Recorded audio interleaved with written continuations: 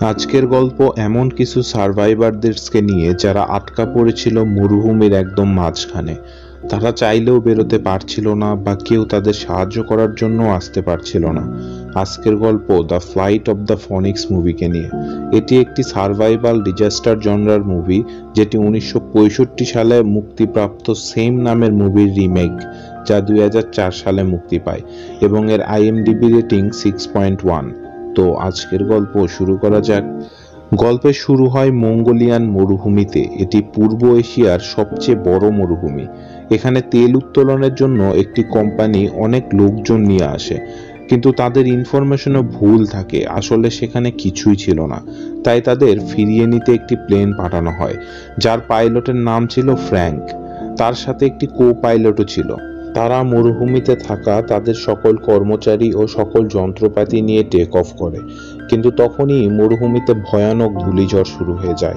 এটি দেখে co pilot ফ্রাঙ্ককে জিজ্ঞেস করে যে, আমাদের কি করা উচিত? আমরা কি ফিরে যাব নাকি উঠতেই থাকব? মেইন পাইলট ফ্র্যাঙ্ক বলে, আমরা ফিরে গেলে আমাদের পুনরায় টেক অফ করার ফুয়েল আর বাকি থাকবে না। তাই আমাদের উঠতেই হবে। বলে সে প্লেনকে যথাসম্ভব ঝড়ের উপরে উঠানোর চেষ্টা করে। কিন্তু তাদের প্লেন ওভারলোড থাকায় সেটি এত দ্রুত উপরে উঠতে পারে না এবং ঝড়ের কবলে পতিত হয়। এদিকে অতিরিক্ত ধুলার কারণে তাদের প্লেনের একটি ইঞ্জিন অকেজো হয়ে পড়ে। তখন ফ্র্যাঙ্ক ইমার্জেন্সি ল্যান্ডিং করার জন্য প্লেনকে নিচে নামাতে শুরু করে। কিন্তু ধুলোর কারণে সে নিচে কিছুই দেখতে পায় না। এদিকে নিচে নামার কারণে পাহাড়ের মাথার সাথে প্লেনের এক অংশের ধাক্কা লেগে প্লেনের পেছনের অংশ ভেঙে যায় ও প্লেনের এক যাত্রী সেই ভাঙা অংশ দিয়ে নিচে পড়ে মারা যায়। এখন প্লেন কোনো রকম মাটিতে অনেক দূর অবধি ছেঁচড়ে গিয়ে ক্র্যাশ ল্যান্ডিং করে। তারা দেখতে পায় প্লেনে আরও দুজন যাত্রী ততক্ষণে মারা গেছে, কিন্তু বাহিরে তখনও প্রচণ্ড ঝড় চলছিল, তাই তারা বাহিরে যেতে পারে না। কিন্তু যখন ঝড় থেমে যায়, তারা দেখতে পায় তাদের প্লেন পুরোটাই বালির নিচে দাফন হয়ে গেছে। এর কিছুক্ষণ পর বাতাসে বালি উড়ে গেলে তাদের প্লেন পুনরায় ভিজিবল হয় এবং তারা সবাই তাদের খাবার ও পানির সাপ্লাই চেক করার জন্য ছুটে যায়। তারা দেখে তাদের কাছে এক মাসের খাবার ও পানির মজুদ রয়েছে। তারা এখন মঙ্গোলিয়াতে নয়, বরং উঠতে উঠতে তারা এখন চীনের কোনো এক জায়গায় আটকা পড়ে গেছে। তারা কেউ তাদের এক্স্যাক্ট লোকেশন জানতো না। এদিকে তাদের মাঝে একজন একাই হেঁটে মরুভূমি পাড়ি দিতে চায়। তখন পাইলট তাকে বুঝায় যে এটি জুলাই মাস, মরুভূমিতে সবচেয়ে গরমকাল তুমি এক গ্লাস পানি খেয়ে হাঁটতে শুরু করলে মুহূর্তে দশ গ্লাস পানি শরীর থেকে বেরিয়ে যাবে। লোকটি বলে, আমি ম্যারাথন করেছি, অনেক হাঁটার অভ্যাস আছে আমার, আর আমি শুধু রাতে সফর করব।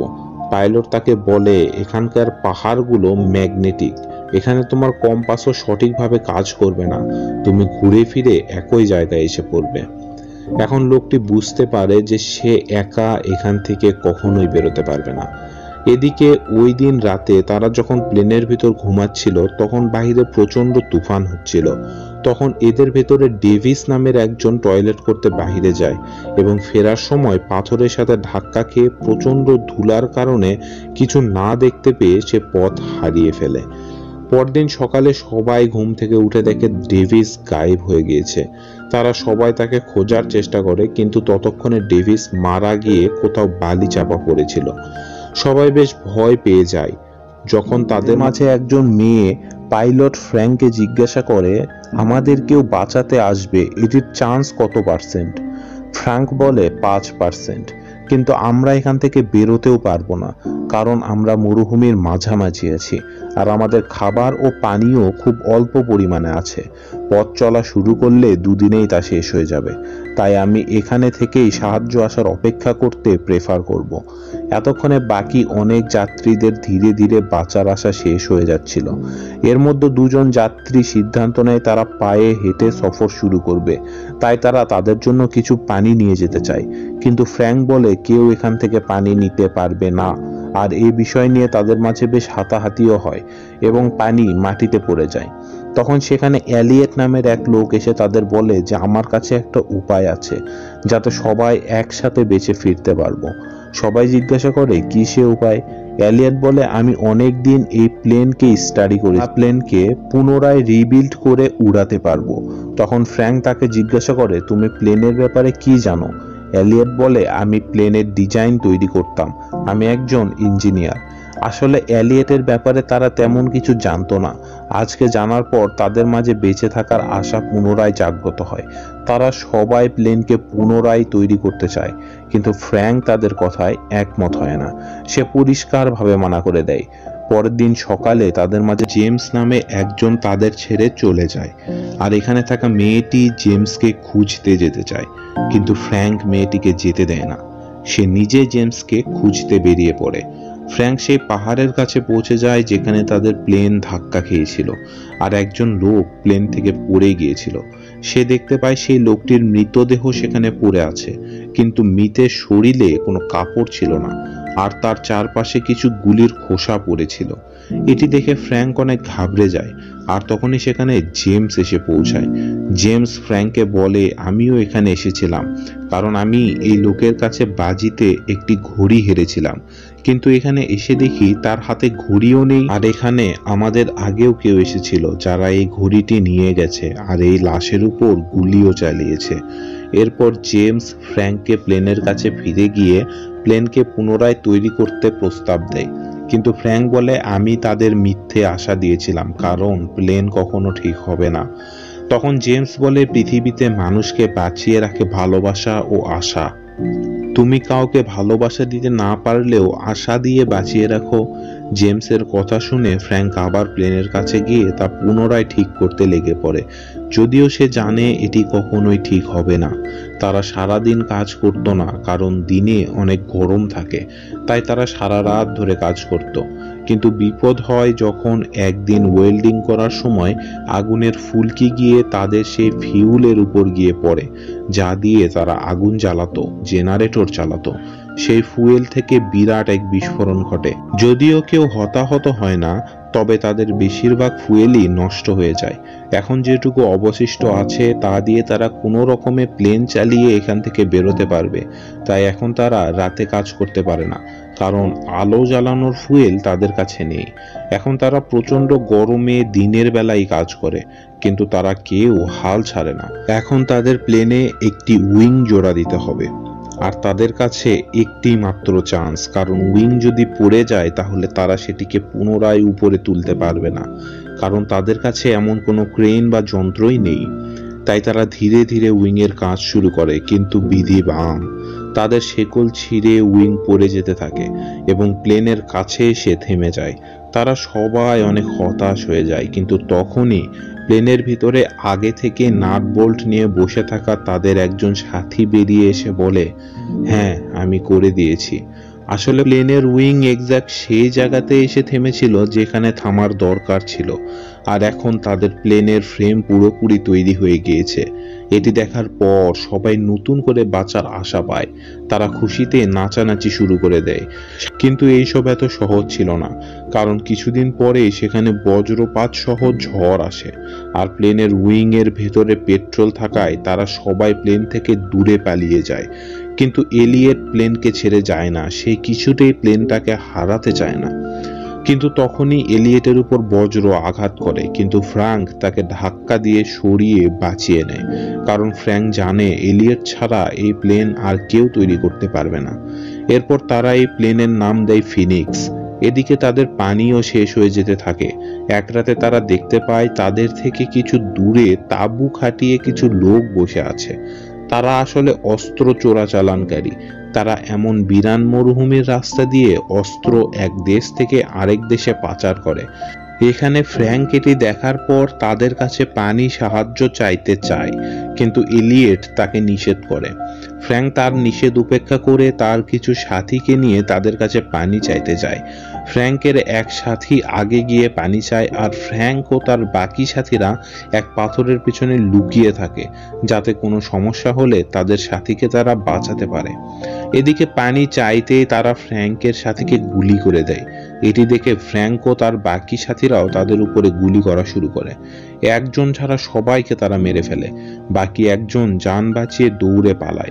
যদিও ফ্র্যাঙ্ক চাইলে তাকে পেছন থেকে গুলি করে মারতে পারত, কিন্তু সে করে না, কারণ সে কোনো হত্যাকারী নয়। চোরার চালানকারীদের একজন আহত অবস্থায় ছিল, তারা তাকে নিয়ে তাদের প্লেনের কাছে আসে। প্লেনে সবাই বলতে থাকে, ওকে মেরে ফেলো, ওরা আমাদের একজন সাথীকে মেরেছে। কিন্তু ফ্র্যাঙ্ক ওকে মারতে রাজি হয় না। এই কথাবার্তার মাঝে এলিয়েট হঠাৎ আহত চোরাচালানকারীকে গুলি করে মেরে ফেলে। এটি দেখে এলিয়েট ও ফ্র্যাঙ্কের মাঝে ঝগড়া শুরু হয়ে যায়। ঝগড়ার মাঝে এলিয়েট ফ্র্যাঙ্ককে বলে, তুমি এই প্লেনের পাইলট, আজ তোমার জন্য এই প্লেন ক্র্যাশ করেছে, তোমার জন্য আমরা এখানে ফেসে গেছি। এটি শুনে ফ্র্যাঙ্ক রেগে গিয়ে এলিয়েটকে এক ঘুষি মারে। ওই ঘটনার পর এলিয়েট রাগ করে বসে। সে বলে, আমি আর প্লেন বানাবো না। যা করার আমি করেছি, আমি একাই দশজনের কাজ করি আর তোমরা বসে বসে আরাম করো। এরপর ক্যালি এলিয়েটের কাছে এসে তাকে অনুরোধ করে যেন সে প্লেন ঠিক করতে সাহায্য করে। তখন এলিয়েট বলে, যদি সবাই আমার কাছে এসে অনুরোধ করে, তবেই আমি প্লেন ঠিক করব। তখন সবাই এলিয়েটকে প্লেন রিবিল্ড করার জন্য অনুরোধ করে। এখন এলিয়েট রাজি হয় এবং তারা সবাই মিলে জোরে সোরে কাজ শুরু করে দেয়। একদিন তারা দূরবীন দিয়ে দেখতে পায় যে চোরাচালানকারী একজন পালিয়ে গিয়েছিল, সে তার সাথীদের নিয়ে আবার এসেছে। কিন্তু তারা তাদের দিকে এগোচ্ছে না, কারণ তারা জানে তাদের অস্ত্রগুলো এখন এদের কাছে আছে।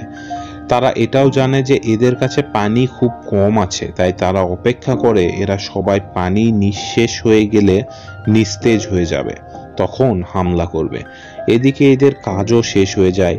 এর মাঝে হঠাৎ ফ্র্যাঙ্ক একটি ম্যাগাজিন খুঁজে পায়, যেখানে অনেক ধরনের প্লেনের মডেল দেয়া আছে, যেগুলো দেখে এলিয়েটে প্লেন তৈরি করেছে বলে মনে করে ফ্র্যাঙ্ক এলিয়েট আসলে বাচ্চাদের প্লেনের মডেল বানাতো, যদিও সেগুলো উড়তো, কিন্তু সে কখনো এত বড় প্লেন বানায়নি। এটি জানার পর সেখানে সবাই এলিয়েটের উপর প্রচণ্ড রেগে যায়। বিশেষ করে ইয়ান তার উপর রেগে তার মাথায় বন্দুক ধরে বলে, তুমি আমাদের সাথে এতদিন মিথ্যে কথা বলেছ? আমরা জানি এই প্লেন বাচ্চাদের মডেল, এটি কখনোই উড়বে না।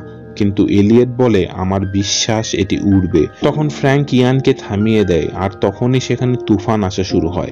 আর তুফানের বাতাসে তাদের প্লেন হালকা হালকা উড়তে শুরু করে। এটি দেখে সবাই পুনরায় আশা পায় যে তাদের প্লেন উড়বে। কিন্তু মরুভূমির ঝড়ে তাদের প্লেন বালির নিচে ঢাকা পড়ে যায়। আবার তারা আশাহত হয়ে যায়, কিন্তু ফ্র্যাঙ্ক তাদের মোটিভেট করে এবং তারা সবাই প্লেনের উপর থেকে বালি সরিয়ে প্লেনকে টেনে সেখান থেকে নিয়ে যায়, যেখানে বালি একটু কম থাকে। এখানে তারা প্লেনকে স্টার্ট দেয় এবং কিছুক্ষণের মধ্যে স্টার্ট বন্ধও হয়ে যায়।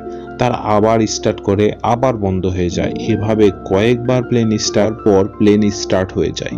এদিকে ইঞ্জিনের শব্দ শুনে চোরাচালানকারীরা তাদের ঘোড়ার উপর বন্দুক নিয়ে তাদের মারার জন্য আসতে থাকে। তাদের উপর এলোপাতারি গুলিও চালাতে থাকে, কিন্তু গুলি কাউকে লাগে না। কিন্তু হঠাৎই তাদের রানওয়ে শেষ হয়ে যায় এবং প্লেন একটি বিরাট গর্তে পড়ে যায়। চোরাচালানকারীরা ভাবে তারা প্লেন সহ খাদে পড়ে মারা গেছে। কিন্তু সবাইকে অবাক করে দিয়ে তাদের প্লেন, তাদের ফিনিক্স আকাশে উড়াল দেয় আর তারা মৃত্যুর মুখ থেকে ফিরে আসে। শেষে আমাদেরকে দেখানো হয় তাদের সবার ছবি, যেখানে তারা সবাই তাদের জীবন নিয়ে খুশি সময় পার করছে। ফ্র্যাঙ্ক ও তার কো পাইলট এক এয়ারলাইন শুরু করে দিয়েছে যার নাম ফিনিক্স আর এলিয়েটকে দেখায় এক ম্যাগাজিনে যেখানে লেখা থাকে নাসার নতুন আশা মানে এলিয়েট এখন নাসার সাথে কাজ করে। আর এর সাথে আমাদের গল্পের সমাপ্তিও ঘটে যায়।